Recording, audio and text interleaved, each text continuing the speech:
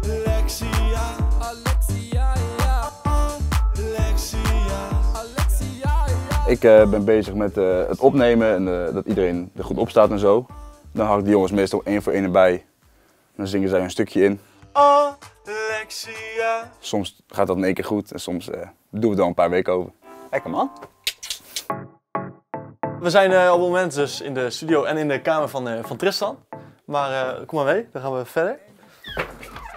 Nou, hier rechts hebben we de GK, de gemeenschappelijke kamer. Is een beetje een rommeltje. Ja, we zitten wel in een studentenhuis natuurlijk.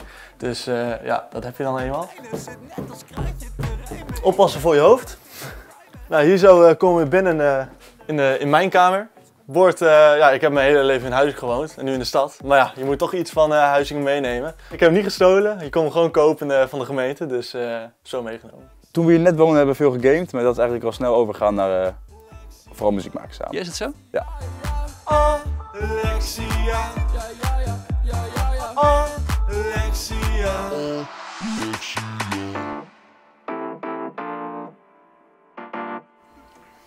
Ah, lekker nummertje.